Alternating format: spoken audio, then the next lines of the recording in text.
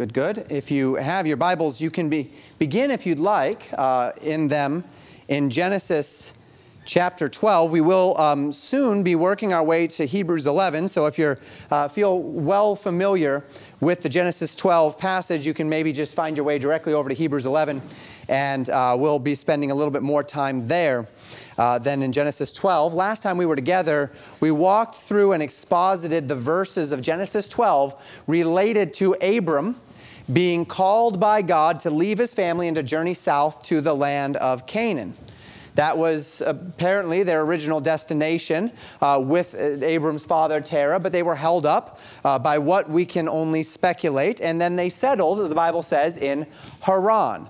Abram obeys God and he travels along with his wife and his nephew um, into Canaan after the fact. Once the family is settled in Haran, Abram continues moving into Canaan and he begins around the area of Shechem. then he moves to a mount between Bethel and Ai in each place, uh, building an altar unto the Lord, uh, indicating his desire to settle there. However, he is not able to settle. And then the Bible says he continued to move south, something that we'll consider uh, next time we are together.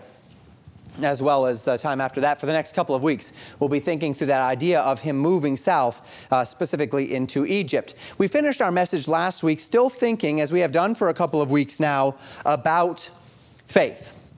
Two weeks ago, we thought through the legacy of faith that we carry forward, right? We walked through that genealogy in chapter 11, recognized that we're tracing a family, a lineage, not just a physical lineage, but also a lineage of a family that had faith. And then last week we uh, considered through the beginning here in Genesis chapter 12, verses 1 through 9, the object of our faith, asking the question, is the God that, that created us, is the God that redeemed us, is he not worthy of our faith? And we considered the character of the God that is asking us to have faith, asking that question, is the God that, that has that character, is the God who is who he is, not worthy of our faith?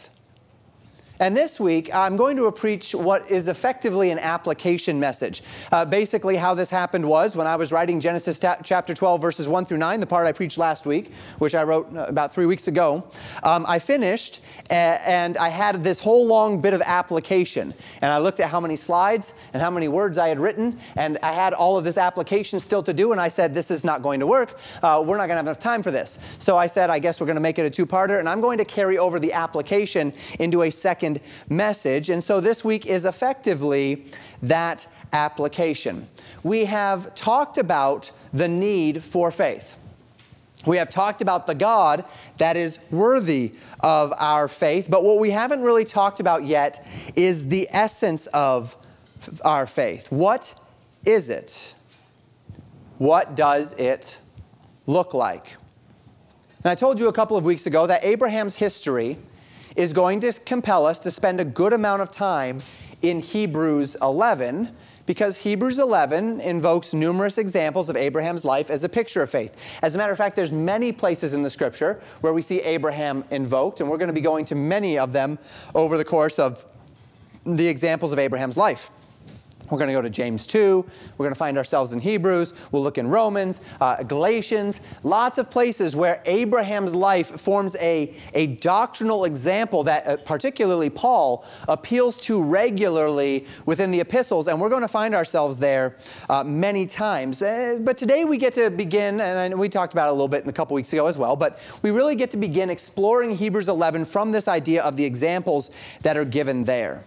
We're going to spend our time in application format thinking through the definition of faith as it's given in Hebrews 11, and then considering these early verses of Genesis 12 and what they demonstrate through Abram of the outworking of faith in our own lives. So we're going to go ahead and begin by reading that Genesis 12 passage again in verses 1 through 9. And then after that, we can just, uh, we'll, we'll travel over to Hebrews 11 and we'll park there for the rest of our time together. Genesis chapter 12, beginning in verse 1, the Bible says this Now the Lord had said unto Abram, Get thee out of thy country and from thy kindred and from thy father's house unto a land that I will show thee, and I will make of thee a great nation, and I will bless thee, and make thy name great, and thou shalt be a blessing. And I will bless them that bless thee, and curse him that curseth thee, and in thee shall all the families of the earth be blessed. So Abram departed as the Lord had spoken unto him, and Lot went with him. And Abram was seventy and five years old when he departed out of Haran. And Abram took Sarai his wife, and Lot his brother's son, and all their substance that they had gathered, and the souls that they had gotten in Haran, and they went forth to go into the land of Canaan, and into the land of Canaan they came. And Abram passed through the land unto the place of Sichem, unto the plain of Moreh. And the Canaanite was then in the land. And the Lord appeared unto Abram and said, Unto thee, unto, excuse me, unto thy seed will I give this land. And there builded he an altar unto the Lord, who appeared unto him. And he removed from thence unto a mountain on the east of Bethel, and pitched his tent, having Bethel on the west and Hai on the east. And there he builded an altar unto the Lord, and called upon the name of the Lord. And Abram journeyed, going on still toward the south. Now, in a few minutes, we'll connect these dots to Hebrews 11, but first I want to lay down a definition from Hebrews 11, cha- uh, chapter 11, verse 1. And the question that I want to ask first is the question, What is faith? Now, Hebrews chapter 11, verse 1 says this Now, faith is the substance of things hoped for, the evidence of things not seen. So Paul describes here, and, and uh, for those of you that were not in the Hebrew series, uh, I do um, rather unambiguously attribute Hebrews to Paul. Uh, in my earlier messages in Hebrews, I, I, it was either my book sermon or that, or that, that, that Hebrews chapter 1, verse 1 sermon. Um, I went through why it is I, I, feel with a measure of confidence that Paul was, in fact, the one who wrote Hebrews. Uh, his, uh, traditionally, they say Paul wrote Hebrews. Uh, modern scholarship has um, attributed it to all sorts of different possible people, um, you know, Barnabas among many others, um, but I do believe that, that it was Paul. And so I'll say Paul just because that's what's in my mind. If you don't agree with me, um, that's fine. Just, just put the person that you think in there when I say Paul, and we'll just, we'll, we'll, we'll just, we'll be fine. Okay, so the Holy Spirit, right, inspired the words. Whoever the penman was, um, that's fine. I do believe it was Paul, but you know, if you don't, that's fine. It's all good. So, Paul describes the character of faith in two complementary ways here. He says faith is the substance of things hoped for, the evidence of things not seen. This word substance is a word which means a support, a confidence, something like a pillar or a foundation, the thing upon which other things rest. Of the five times that the word is used in the New Testament, three of those times it is in fact translated confidence. Faith is the manifest confidence in those things for which I am hoping. And we need to be careful with this word hope as well. This word hope, when we use the word hope in our modern vernacular, it means something uh, that we are not sure about, but that we want to happen. When we use that word, it often carries the idea of, of something which is a longing that we have, but it's not a confident longing. Um, if I say, uh, you know, every, every, year around this time, uh, the NFL draft just happened, and uh, people start hoping that their team will be good this year. Now, for the majority of people hoping that, for the majority of teams that they support, that hope is unfounded, right? That hope is not going to happen. That hope is going to be disappointed by about, uh, you know, December of this next year. However, there, th- that's how we use the word hope. It's a fearful longing of something which may or may not happen. But that is not how the Bible uses the word hope. That is not how our King James Bible translates that word. In, in our King James Bible, the word hope is not about a fearful longing, but it's about a desired expectation, a desire, in fact, with expectation, a joyful and earnest expectation of good, the highest degree of well founded expectation of good. Hope is not something uh, that I'm not sure if it's going to happen. Hope is something that I fully expect to happen, and I'm simply waiting for it to come to pass. It's not the idea of saying, well, I hope one day I get to visit the mountains, or I hope someday I get to go travel to that country. That's the kind of hope that we think of when we think of hope. But when the Bible talks about hope, that hope is the idea that I have a date where I'm leaving, my bags are packed, I've bought the ticket, it's punched and ready to go, and I'm simply waiting for the time to come. That's biblical hope. A joyful and an earnest expectation of that which has not yet come to pass, but which I fully expect will, in fact, come to pass. So when Paul says that faith is the substance, the support system, the foundation of the things that I am hoping for, the idea is that faith is the essence of what compels my expectation. Faith is the, the, the foundation in my life of what I expect to come to pass one day. Paul is not saying here that faith adds some level of expectation to things which I have no reason to believe will come to pass. Faith is not a shot in the dark. Faith is not this blind, hopeful idea that maybe it'll happen, maybe it will not. Rather, faith is an outworking of my confidence in something that I am certain will come to pass. So certain I am that it will come to pass that I'm actually going to build my life on it. That's faith. Faith is the actions that I perform in my life based upon the confidence that I have in something that has been promised. And the degree of faith that I have is manifest through the extent to which what I say I believe actually affects how I live my life. Because if it is not affecting how I live my life, the question is well, then do I really believe it? So faith is the substance of things hoped for. Second, we see also faith is the evidence of things not seen. Faith is the proof of deeds which have not been seen. The expectation, the waiting for, the, the longing for of that which is not seen. There's coming a day where something that is not seen, I fully expect will become a reality. And as that finds its way into my life, it does so in the manner in which I wait. That my expectation, if my expectation, I'm flying out on Tuesday, my expectation is that Tuesday I am getting on an airplane and I'm flying to Colorado. Therefore, in expectation, the evidence of that in my life will be that right now there's a suitcase sitting out in my, uh, in my room. That suitcase is open and there are things in it. I don't normally have things in a suitcase sitting out in my room. That's not the normal way that I live. Normally things are in drawers and such, but they're in a suitcase right now because there is an expectation, there is a evidence that something is about to happen. And because the ticket is bought and the arrangements are made, and I, I, have a full expectation of that which is to come, there are evidences of that in my life.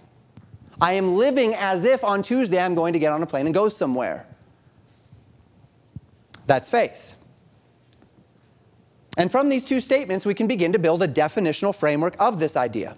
Faith deals with matters which are unseen but have been told to me with the expectation that they are going to come to pass and thus will affect my life.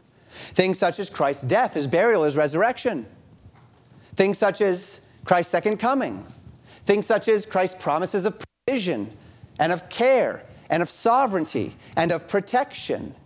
And the measure of faith in a man is the degree to which his belief in those unseen matters and those personal promises work themselves out in his daily life. So if I was sitting here today without any suitcase out and no bags packed, uh, most of you would say, well, that's pretty normal, right? You do that at about 10 o'clock before you leave the next morning. Okay, fine. But the idea being, if it's time to leave for the airport and I don't have a bag packed and I'm still in my pajamas and I haven't showered and I'm not ready and I haven't done anything with tickets and I haven't pre-registered or anything, well, you could conclude that I don't really believe I'm going anywhere. But because I believe I'm going somewhere, I make plans. I prepare. I think through things and I align my life with the expectation of what's going to happen.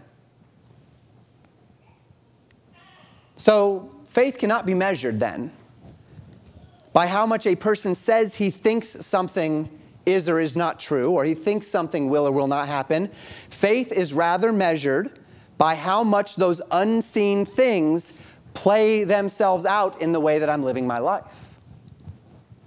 And the world around us today gives us ample evidence of the difference between saying something and actually having faith in that thing. We have a country right now that is in the throes of um, fear as it relates to climate right?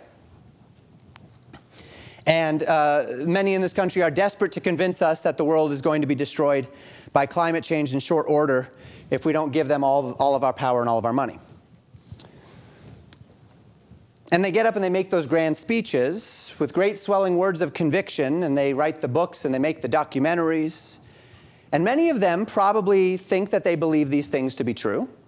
And many of those who hear them think that they believe these things to be true. And again, not debating the nitty gritty of climate change, just the idea of climate alarmism.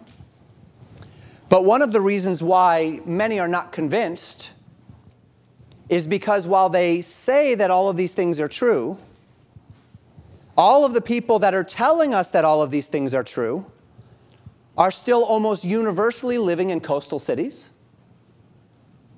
driving big cars, flying private jets, buying homes on the coast. And it makes us wonder do they actually believe what they're saying? I mean, if I actually believed what they were saying, I wouldn't be buying a house on the coast. I'd be buying a house on a mountain. I'd be moving inland a little bit. And there's a difference, right, between what somebody says they believe and maybe even has convinced themselves they, they believe, but what they actually believe. Because while we can say we believe anything, Christian, what we do is going to be a pretty good indicator of what we actually believe, regardless of what we say. So Jesus taught in Luke chapter 6, verse 44 Every tree is known by his own fruit. For of thorns men do not gather figs, nor of a bramble bush gather they grapes. If you want to identify the type of tree that you're dealing with, there's a pretty foolproof way to do it, and that is to assess its fruit. If I see what the tree produces, sometimes that would be the shape of the leaf or the type of bark, or in the case of a fruit tree, it's an easy one, right? The type of fruit. Oh, look, there's oranges on that tree. That's an orange tree.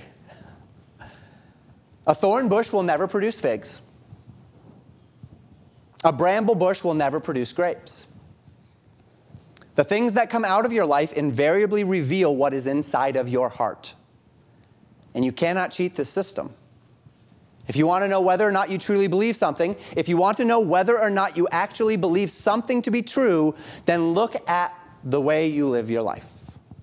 Look at the outworking, the fruit of your life. Whether or not it affects the way you live your life. And you will know without ambiguity whether or not you have faith in that thing. You can say that you believe those things that the Bible teaches, be it about the gospel or about sanctification or about God's authority or about laying up treasure in heaven about God's protection or about God's provision or all of these things. But if the manner in which you live your life, the way that you position your life to be lived, operates in fundamental inconsistency with what the Bible teaches in this manner, to the degree that that disparity exists, to that same degree, you can know that you have not actually translated what you know into what you believe into faith. Now, and as I'm saying this, uh, let, me, let me reassure you all of us do this. I wish I could get into James chapter 2 today. I'm not going to be able to get into James chapter 2 today. Um, we are going to talk a lot more about James chapter 2 when we get to Genesis 22, which is where, where we see a merging between what James is teaching about faith and works and uh, Abram uh, uh, sacrificing his son Isaac. We might allude to it in Genesis 15, which is also there in James chapter 2. But as we think through this idea, what we'll understand is that we all have areas of our life where we struggle with faith. Most of us in here, by God's grace, have come to the place where we have actually put our full faith and trust in Jesus Christ to be saved from our sins. That's saving faith. But you know, you don't get all faith when you get saving faith.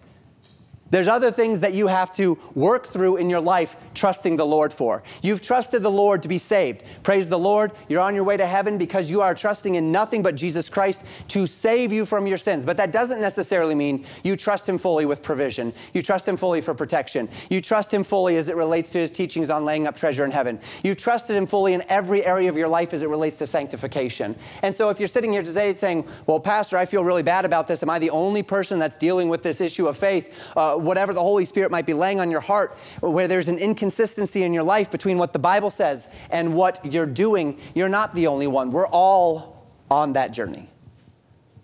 And I'm not saying that to relieve anyone of, of the feelings of, of the need to re, respond to the Holy Spirit if He's convicting your heart.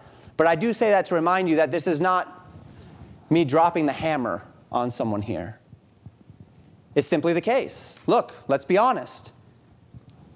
If you say you believe something, but the manner in which you're living your life works in, in, is operating in, in contradiction to what you say you believe, you might know it, but look, you don't believe it. You, it might be in your head, and you might acknowledge verbally, mentally, assent to the fact that it is true, but you haven't actually invested your heart in it. Because if you were investing your heart in it, you'd live like it. Because a tree is known by its fruit. So, our first point this morning is this then faith is the point when what I know becomes what I believe and so affects what I do. And that is the running definition that we've had for a long time now, since we studied many years ago Hebrews 11 and then working through the Hebrew series. This is our running definition of faith at Legacy Baptist Church. Faith is when what I know becomes what I believe so that it affects what I do. Now, one more thing to say just briefly before we move on, and it goes back to that James 2 idea. While it is biblically apparent that the only way that I can know whether I have faith is by the actions that I'm committing, the idea is not that faith requires works. Much to the contrary, it is the idea that faith produces works. Faith does not require works, faith produces works. Works are the fruit of faith. Faith is not the fruit of works. And these two ideas are mutually exclusive. If faith requires works, then in order to attain to the status of faith, I must first do certain things. And when I have done certain things, then I have attained unto the faith. But this subverts the entire promise, or excuse me, the entire premise that faith is something which I receive rather than do, right? It, it, it, subverts the entire promise that faith is built upon the substance of things hoped for and the evidence of things not seen. It is the things that I hope for and have not yet seen that compel my faith and thus then compel my works. But if it's works first, then that, that, that actually builds or establishes my faith. Well, then, no, it's not the unseen. It is the things that I have done that creates faith in me. Not the things I'm trusting in, but the things I've done. And that's not what the Bible says. However, if faith produces works, then when I come to faith in something, the thing that validates in my heart and my mind that this faith is genuine is when I see the marks of that faith being lived out in my life in a manner in which I interact with the world. And again, that's uh, very simple. It's best expressed in James 2. I'm not going to get into James 2 today, but we will a little bit later. Um, and, and hopefully that, that idea will become more clear to you. Okay, so point one faith is the point when what I know becomes what I believe and so affects what I do. That's the definition of faith. When we are talking about faith, a legacy of faith, about a God who is worthy of our faith, this is what we are talking about. A legacy of men who were told things by God and they took God's word and they said, I will not live by bread alone, but by every word that proceeds out of the mouth of God. That there's a hundred different reasons why I should not believe this promise that I cannot see, that I cannot touch, that I cannot taste, that I cannot feel. But I'm going to believe it anyway on the, uh, by virtue of the character of the one who has made the promise. The God who is worthy of my faith is a God who is, in fact, worthy of my faith. Therefore, I will trust in him and I will build my life upon his words, even though I'm putting my trust, my hope, my expectation in that which I have not seen and which has not yet come to pass. And that's what we're talking about. And because of the testimony and works of our God, a God who is worthy of our faith, a God worthy to be believed, His promises are worthy of my attention, my loyalty, and my obedience, even my sacrifice, which we'll come to in a little bit. Now, as we walk away from this point, again, perhaps the Spirit of God is convicting you that your life does not well reflect faith in some way or the other. And if this is you, as we've already talked about this morning, at least in part, if you say, wow, there is an area of inconsistency, and I haven't mentioned any directly, but the Spirit of God has put his thumb on something in your life, and he's saying, there's a, there's a, a, a, a thing here. You know that you're not actually walking in faith in this area of your life. You say you believe it, but your life reflects otherwise. The point of this conviction of the Holy Spirit is not that you would walk away saying, I've just got to do better. I've got to start doing the things necessary to show that I have faith. Well, no, right? Because it's not going to be your works that produce faith, it's going to be your faith that produces works. Faith does not naturally deal with actions. Faith is, uh, actions are an outworking of faith. Actions are the proof that I have faith, but faith itself is not naturally dealing with actions. Actions are a result of faith, a proof of faith, not the source of faith. The battleground, then, if you're under conviction if, uh, uh, this week or any other week, as you're dealing with some matter of faith, the battleground is not about what you're doing. What you're doing is showing that there's a battle happening.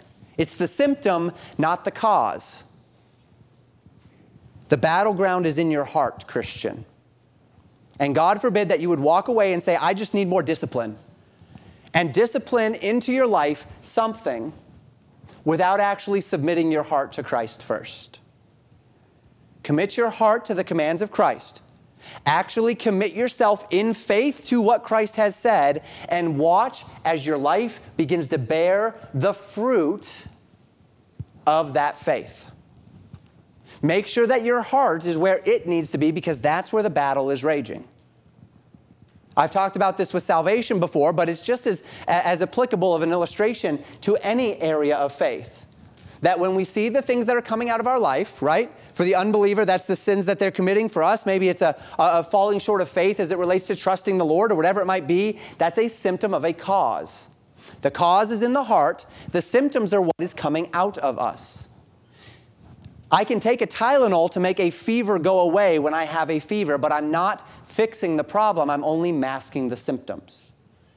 Until the infection is cleaned out or until the virus is removed from my body, that fever is going to come back when the Tylenol wears off because all that Tylenol functions to do is mask the symptoms of the problem. I can live my entire life just taking Tylenol, but it's never going to fix the problem. The infection has to be cleaned, the virus has to be killed. And at the point that that happens, then the fever will take care of itself. The fever will go away when the infection is gone. So we start in the heart.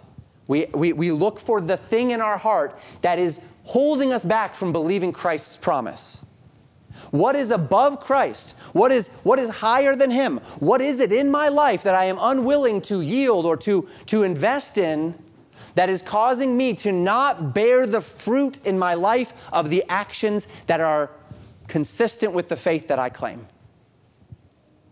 Deal with that in your heart, and the actions will, will change. The fruit will produce if there's nothing between you and the Lord. Clean the inside, and the outside will naturally follow.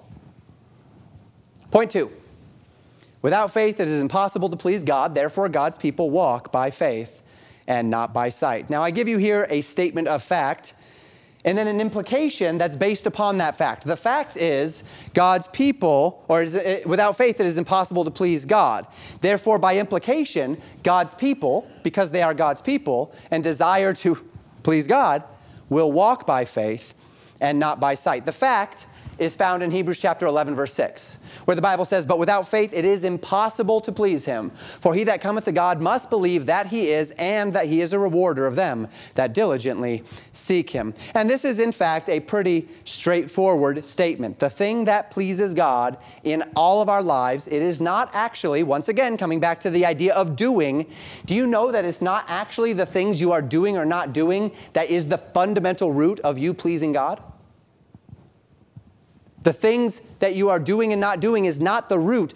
Those things are manifestations. There are certain things that you can do where you can look and say, wow, that's not possibly in faith. That does not please God.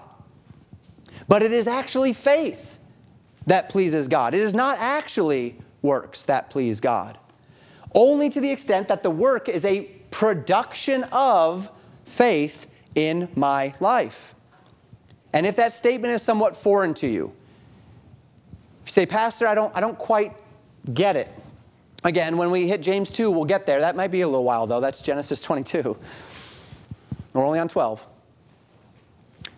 But I did preach a message. It was in May 10th of last year, so almost exactly a year ago. And it was a message on the balance between grace by faith and works. And the question that had come up within our Hebrew series at the time was the question, Pastor, if if it is faith that pleases God, and if uh, grace is by faith, and grace is not of works, otherwise work is, is no more work, and, and, and, and uh, uh, uh or, uh, uh, grace is not of works, and works is not, not of grace, and those are two separate things, then how is it that we will stand before the judgment seat of Christ to give an account for the things done in our bodies? If what God, if what pleases God is faith, and faith is what matters to God, and grace is by faith, and grace is through the, the, the, manner in which we live our lives, then how is it that, that we are warned about our works? And I answer that question in this message, and it gives a really good contrast um, between grace by faith and works.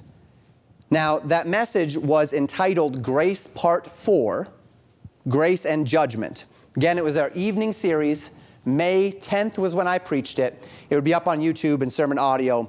And I encourage you to go back and listen to that message um, if you are wanting more um, about this, if you're confused or intrigued or unfamiliar with the concept. So then we accept this statement as truth. Without faith, it is impossible to please him, very similar to what Paul says in Romans chapter 14, verse 23 Whatsoever is not of faith is sin. The man who comes to God must believe that he is, that God is who he says he is, and that God will reward them that seek him, that God is who he says he is, and that God will do what he says he will do. And if this is in fact the case, if I believe that God is who he says he is, and I believe that he will do what he says he will do, then I am thus put in a position where I have a choice to make. On the one hand, I have the testimony of the world, the flesh, and the devil. The claims of this world, the promises of this world, the inclinations of my own heart to draw me to the things of this world, specifically because they're the things that I can see. They're the things that I can feel. They're the things that give me immediate gratification. They're the things that have a, a direct cause and effect. When I give to someone who has a need, I may not necessarily feel the exact cause and effect. I may walk away saying, well, that was nice but I may not see the cause and effect. When I am forgiving to someone who's nasty to me, I may not see the direct cause and effect. I may have to wait 60, 70 years. I may have to wait uh, uh, decades to the end of my life to step into eternity before I can see the value of that investment. talk more about that in a minute. But if I just Eat, drink, and be merry, for tomorrow I die. I get it now. I can see it now. I can, I can draw a direct line between cause and effect. And all of that every day is calling to every one of us, Christian, and saying, This is the promise. This is the good of this world. But by God's very design, the testimony of the world, the flesh, and the devil stands in direct and unreconcilable contradiction to the claims of God, the promises of God. And to this end, I can only believe one of these two. As Paul would say in 1 Corinthians chapter 10 verse 21, ye cannot drink the cup of the Lord and the cup of devils. Ye cannot partake of the Lord's table and the table of devils. At any given moment, in any given thought or action, you and I are either with God or against Him. And in consistency with our first point, it will not be the words out of my mouth which will fundamentally indicate where my faith lies, but rather the product of my life. Not that I will be sinless, none of us is. John warns in 1 John chapter 1 that if we say we have no sin, we've deceived ourselves. The truth is not in us. But rather, I will direct my life in the trajectory of sanctification that each of us, as Paul says in 1 Thessalonians chapter 4 verse 3, will be compelled that we might know how to possess our vessel in sanctification and honor. Not continuing in sin that grace may abound, but abounding in grace in the day of my sin through confession and repentance and faith, restoring fellowship and walking in the light, realigned with my Savior. And when I have aligned my heart with that which God says, the product of my life will reflect it, and I will know that I am pleasing in His sight. The works testify to me of my heart of faith, but it is my heart of faith that is pleasing God. And this leads to another warning before we move on. Think through this carefully with me. It is not possible to have a faith that does not produce works. If I believe something, it will invariably produce in my life works that are consistent with that faith. However, it is possible to have works that are not a product of faith. So it is not possible to have a faith that does not produce works, but it is possible to have works that are not a product of faith. You and I are in church this morning. I don't know if you knew that. This is a work, coming to church, that is consistent with faith in God's Word. The call of God not to forsake the assembling of ourselves together, to provoke one another unto love and good works, and so much the more as we see the day approaching. It's a consistent work with faith. It's also a work that's consistent with faith that God desires us to grow to be stretched in our faith, to be purified by the Word of God and the Holy Spirit of God, cleansing our lives and directing our hearts into sanctification. It may also be a work that is consistent in the lives of some in this room with faith in God as it relates to authority. That some of our children are here today and they are at church, perhaps not because they are fully invested in what the church is doing or they've come to maybe some not, not even full understanding of these things yet. Yet, it is consistent with the idea of honoring one's authority, and that is a consistent fruit of faith. Perhaps you could think of other faith manifestations that coming to church could actually uh, um, produce in our lives. But just because the work of attending church is consistent with faith, is something that is often a product of one's faith, this does not necessarily mean that you are in church today because faith produced that work in you. There are plenty of other things that might have compelled you to come to church today other than faith in some element of God's Word. Everyone who has faith in God's promises to assemble will be led to find God's people and assemble. Maybe it'll look like this church, maybe it will look nothing like this church. But everyone who has faith in what God's word has said about not forsaking the assembling of ourselves together, about provoking ourselves to love and good works, about being a member of the body and a member in particular that we might uh, uh, that, that we might profit with all. Every person who reads Romans, 1 Corinthians, uh, uh, Ephesians is going to uh, Hebrews is going to seek out an assembly of believers because faith is going to produce in them the need and the longing to do so. However, plenty of people who have no faith at all are also compelled to church assemblies, aren't they? And that for any number of ulterior reasons. Maybe it's to uphold some tradition. What they're actually doing is they're putting they're, they're, they're putting faith in the fact that this tradition matters, not faith in God. They're invested in a tradition. Or maybe they they want to look like a good person in front of their family or their society. It's a pride issue. They have to save face. They have to uphold some, some, uh, some uh, testimony that they might have. Maybe they're coming to church specifically to attempt to earn favor with God. It's a self righteousness issue where they're actually investing in church specifically so that they can show God, see, God, I did things for you.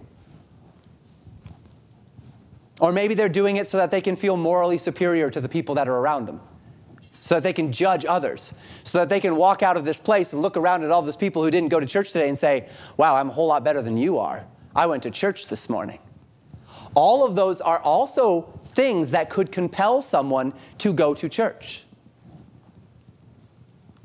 These people are doing the same work, but there's no faith there. The action that they're committing, though we might call it moral or society, societally and personally beneficial, is not actually a product of faith. It might very well make them a better person. It's certainly a better use of, of, of, their time than a lot of other things, well, depending on what church they go to, I guess. But if it's not being done in faith, simply put, it's not pleasing God. To this end, then, the compulsion of God's people through every generation has been not as much about the actions that we're doing, but the motivations. To walk by faith and not by sight. You, I, I, we don't come together in church to learn what to do in the, in the purest sense of the word. We come to church to learn about the one who has called us to follow him. And then we follow him. And we learn how to follow him.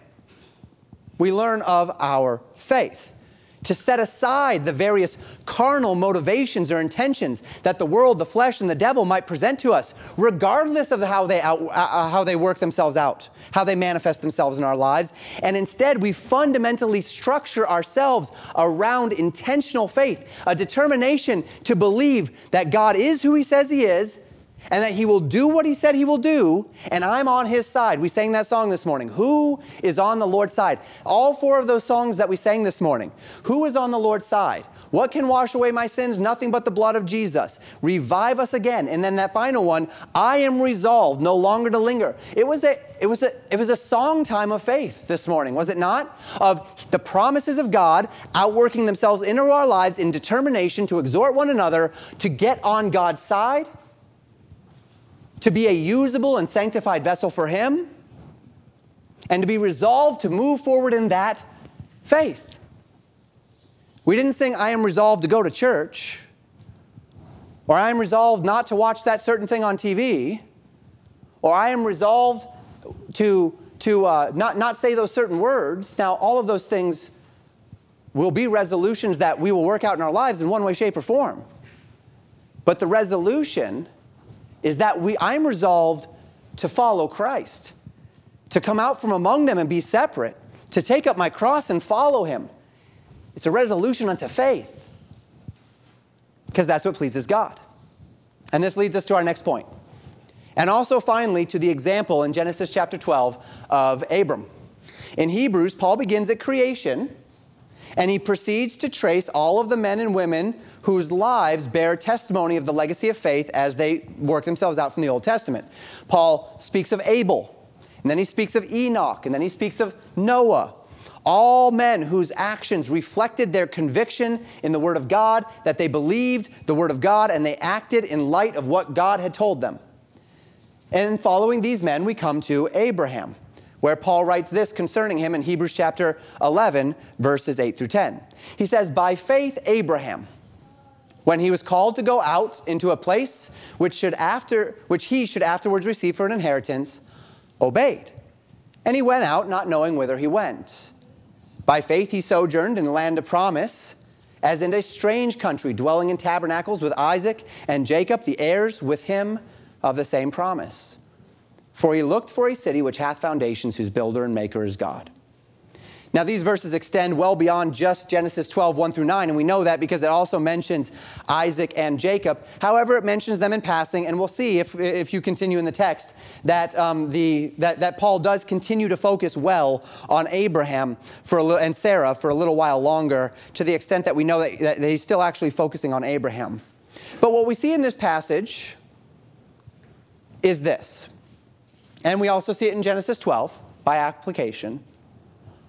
Abraham's faith in what God had told him compelled him into a mindset of personal sacrifice by which he was willing to set aside the things which were naturally expected, desires, or otherwise reasonable in his life in order to fully invest in the promises, the unseen promises that God had given to him. In other words, not only did Abraham show he had faith because what he knew became what he believed as it was manifest in what he did, he got up and he left. But in our third point, we find here that faith, Abraham's faith was, and faith in fact is, sacrificial. Now, when I had initially written out these points to be used at the end of last week's message, I had put down faith is often sacrificial. But then I thought about it and I realized that that qualification is unnecessary. Faith is not often sacrificial. In fact, faith is always sacrificial. Faith will not always ask me to give up what I have. Abraham was asked to give up some things. He was asked to give up his family, his land, uh, the, the protections and provisions, the culture of his own family group of Terah and Haran. He was asked to be a stranger, to live in tents for the rest of his life and his son's life and his son's son's life, to have no true home in that sense. So he was asked to yield some things, but he was also not asked to yield everything, right? As we look at Abraham's life, we find that he was a prophet, that he was an excessively wealthy man, uh, that he was so wealthy, in fact, that he was able to gather his servants and actually go and defeat a nation with, with, with just the number of servants he had, because he had a sufficient number of servants to literally make an army. The dude was rich. And he was not just rich, but he was powerful. Kings feared his name. When Abimelech took Sarah, and then his wives were made barren, and he gave Sarah back to Abraham, and they had the conversation. We'll get there. He could not again, his wives would, would remain barren until such time as Abraham, as a prophet, prayed for him. Abraham had influence, he had power in the region. Kings and nations feared him. So faith was not, he was not asked to live a life of destitution and asceticism. He was not like Elijah or John after him, who would uh, live in the wilderness and eat locusts and wild honey and, and, and um, be uh, an ascetic for his entire life. And yet, though he was not asked to give everything up, faith did invariably call him to put those things on the altar, to be willing to yield them to hold everything that he had under God so that if there was anything in his life, all the way down to his only begotten son, to his beloved son, if God asked him by faith, if God said, by faith you must yield your son in order to have what I have for you, Abraham had to be ready, it had to be on the altar, he had to be willing. Because faith is sacrificial. Christian, God owes you nothing. And more than that, when the kingdom of God comes in conflict with the kingdoms of this world, it is very possible that this will give way to a measure of loss of the things of this world if you choose to follow faith. When the things of this world come in direct contradiction to faith, yes, the things of this world must be on that altar, whether that be houses or lands or family or whatever it might be. And this is true. Circumstance and time may or may not ask you to yield those things. Many of you have come to the faith and you've lived these years of your life, and to be quite honest, you've had to do very little as far as material sacrifice for your faith. you, you, you have your house and you have your bank account and you have your job and you have your family and all is, is quite well. Faith, time and circumstance may or may not ask these things of you, but faith will compel you to put it on the altar. Jesus said this in Mark chapter 10, verses 29 to 31. Jesus answered and said, Verily I say unto you, there is no man that hath left house or brethren or sisters or father or mother or wife or children or lands for my sake and the gospel's. But he shall receive an hundredfold now in this time houses and brethren and sisters and mothers and children and lands with persecutions, and in the world to come eternal life. But many that are first shall be last, and the last first. Now, we live in the United States of America. And for the majority of the past 250 years, most Christians have been blessed to not need to choose between family and faith, or employment or faith, and life and faith. However, there are some, even in this room, who have had to make those sacrifices. You have had to fundamentally alter relationships with people in your life that you would not otherwise desire to. You would desire to maintain that relationship, but you can't because faith compels you to do otherwise. You've had to leave a job, change your living conditions in order to remain faithful to God and His Word. And I don't seek to minimize your hurt or your struggle or the sorrows of those things that you have had to yield on this earth for the sake of faith. I don't minimize that at all. So please, please don't, don't think that I am. But that doesn't change the fact that we know very little of the sacrifices of faith as it relates to history, as it relates to what we read about in the book of Acts, or what we read about in the book of uh, in, in Foxe's Book of Martyrs, or in the Martyr's Mirror, or what we read about today in the Middle East, or in Southeast Asia as it relates to the kinds of sacrifices that are having to be made that men may follow, men and women might follow the faith. But whether you have been asked to yield these things, to, to, to give up these things or not, faith is fundamentally sacrificial. Just because the circumstances of our time and history have perhaps not demanded them of us, this does not mean that God does not ask them to be on the altar. So that if there came a day where anything in your life was asked to be yielded for the sake of following God's word and way by faith, faith expects this yielding. One final point faith always precedes blessing. The final verse that we read in Hebrews 11 just a minute ago, not the final verse of Hebrews 11, but in Hebrews 11, verse 10, that final verse we read says this about Abraham For he looked for a city which hath foundations, whose builder and maker is God. Faith is sacrificial, but that doesn't mean faith is some sort of masochistic endeavor that thrives on suffering. Faith is sacrificial, but it is not a sacrifice in the sense of loss. It is a sacrifice in the sense of investment. If I decided, because of the way the economy is going, to put my money into precious metals, and I took all of the, the funds that I have, the liquid assets that I have, and I put them into precious metals, I cannot go to the grocery store, drop an ounce of silver to pay for my milk and eggs. It's not going to work. I have lost the liquid nature, the fungible nature of those of that money. But while I have sacrificed the capacity of that money to be used functionally right now, I have done so with an eye toward a better return tomorrow. It is an investment in something more. So, yes, I have sacrificed something in that that money is not liquid, it is not fluid, it is not something that I can just go and drop down on the counter anymore as I could yesterday. But that doesn't mean it's a loss. It is, in fact, instead an investment.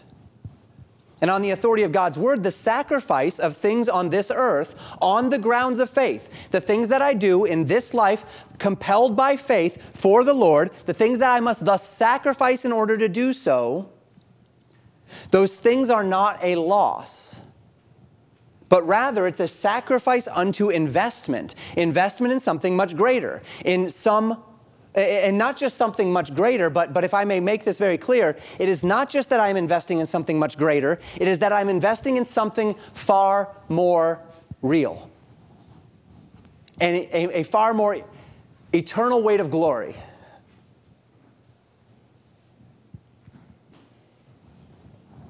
Abraham left houses, families, lands. He dwelled in tents, far apart from cities, for the rest of his life. And he did so by faith.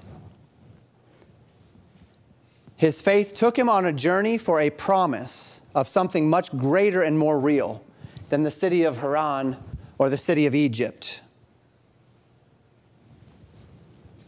He sought for a city with immovable foundations, a city which would not pass away. He sought to, to invest his time and his effort into building his home in a city that could not be torn down, in a city that could not be conquered. A city with ha- which hath foundations, whose builder and maker was God. Some of us have become a little bit more politically active in the last few years. And I'm not saying that that's a bad thing. But there is something futile about it, isn't there? That you put your time and your effort into this to save what? And for how long? Because, you know, eventually, one way or the other, the United States of America will cease to be. Whether that's by being conquered, whether that is by collapsing from inside and balkanizing into many little states like Eastern Europe has done a bunch of times. Have you ever looked at a map of Eastern Europe before 1900 and a map of Eastern Europe today? Very different. And by the way, if you look about every 20 years between there, each map is going to look very, very different. Kingdoms come, kingdoms go, cities come, cities go. They rise, they fall and the time and the investment that, that, that great men have put into building these things lasts for so long, but then it goes away. And Abram lived in tents, and he wandered as a stranger because he was convinced that the cities of this world were not exactly that which is fully worth his time and his investment strangers on a journey, sojourners in a land, heading to a city that hath foundations, whose builder and maker is God. And every minute that I invest into that city is, is investment into a city which will never change, which will not go away, which will not be teared down, which will not be conquered, which will not collapse into moral decay. And so Abram looked around and he said, There's worth there. Now, again, I'm not saying that there's not worthiness for us to invest in the things of this life. We have children, we have grandchildren. There are reasons to, to fight for those things as well. But priorities have to be in the right place. I mentioned a minute ago the eternal weight of glory. That phrase comes from 2 Corinthians chapter 4. Verse 16 says, For which cause we faint not but though our outward man perish, yet our inward man is renewed day by day. For our light affliction, which is but for a moment, worketh in us a far more eternal, uh, excuse me, far more exceeding and eternal weight of glory. While we look not at the things which are seen, but the things which are not seen. For the things which are seen are temporal, but the things which are not seen are eternal. Right? That's faith.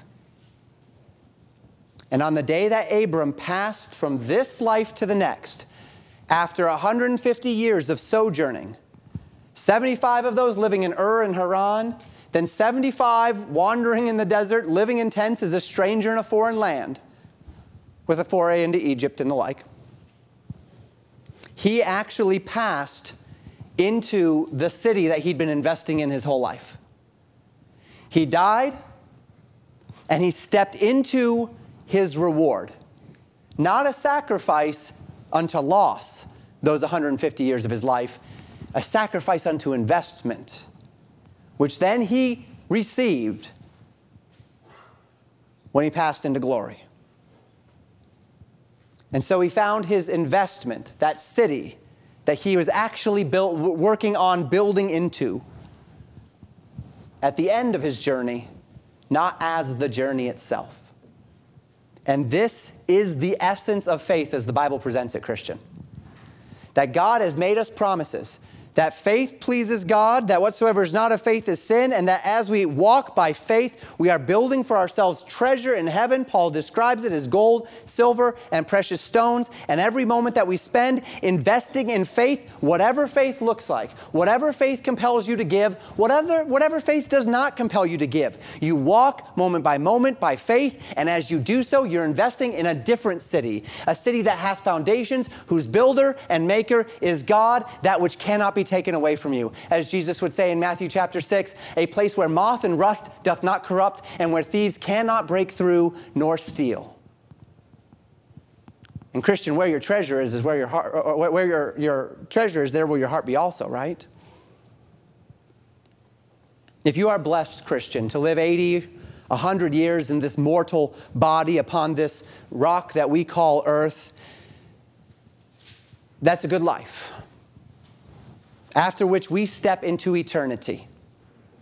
And as Jim Elliot said so eloquently in his day, he is no fool who gives that which he cannot keep to gain that which he cannot lose. When at once we have a clear perspective on life and eternity, a life on the altar in exchange for a promise, an eternal promise a temporary life on an altar. 60, 70, 80, 90 years on the altar in exchange for an eternity of promises. Well, that's about the best investment one can make. And that's faith. But here's the thing the investment will only make sense to you and I by faith. God will not open a window into heaven say, Here, here's what I have for you. Take a peek so that you can know why you're supposed to be doing these things. No. God says, You got to trust me. He brings us to the edge of that cliff, and there's nothing but clouds below me. And God says, At the bottom of that is your reward. And I say, Well, God, can you just move the clouds aside a little bit so I can see it before I jump? And God says, No, you got to trust me. And if you trust me, you'll have it. And I say, Well, I do trust you, just move the clouds. And God says, No, trust me. Well, can you at least show me? Can, can, can I have a little bit of that reward first? No, no, you got you to take the step first, then comes the reward. Faith always comes before the blessing. The Spirit of God does give us a taste, does He not? Through the, the fruit of the Spirit love, joy, peace, long suffering, gentleness, goodness, faith, meekness, temperance. You do have a taste of heaven. God's been gracious to give that to you. But He has not given us an intrinsic understanding of the kind of joy, the kind of rest, the kind of peace which has been reserved for the faithful. But instead, we have a promise. The promise was first given in Isaiah chapter 64, verse 4, but it's quoted by Paul in 1 Corinthians 2, verse 9. He says, As it is written, Eye hath not seen, nor ear heard, neither hath entered into the heart of man the things which God hath prepared for them that love him. You know what? That sounds pretty good. Do I know what that means? Pastor, you spend all day studying the Word of God. What does that mean? I don't know. But I know I want it. I have not seen, ear has not heard, which means we can't relate ourselves to it. Have you ever noticed that? That we can really only relate ourselves to the things we've seen and heard. When people try to invent future machines or whatever it might be, they're always kind of related to what they already understand, right? Aliens, they look like an amalgamation of like seven different bugs. Future, fu- future flying cars or whatever it might be always, always kind of look like cars like we think of them today or airplanes like we think of them today. We don't really have a concept to think outside the box in that way. Every once in a while, there's, there's, there's a weirdo that does, and he changes the world. But, but um, that's not typical, right? We relate ourselves to what we understand. So if the Bible says, Eye hath not seen, nor ear heard, neither hath come into the heart of man what God hath re- prepared for them that love him, I can't tell you what heaven's going to look like. But I can tell you that the reward will be something where anything you do in this life to invest in that will seem like peanuts compared to what you get on the other side. But you've, the, on, the only way that we can relate ourselves to that is by, by faith. It's the only way we can do it.